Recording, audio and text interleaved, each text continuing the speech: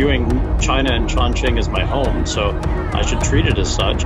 Told, hey, they're, they're looking for people with this specific skill set. Would you help? I'm like, yeah, of course.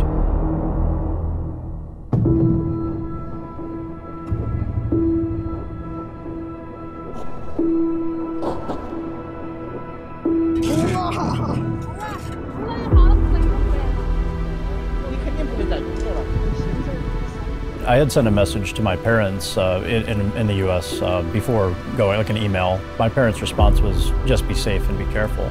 Uh, when my uh, mother-in-law had heard the news, she was uh, just reminding me that I have a family and a daughter, and you know, is this really what I need to be doing? But they were worried, but uh, weren't, weren't really able to stop me. They were in Chengdu at the time.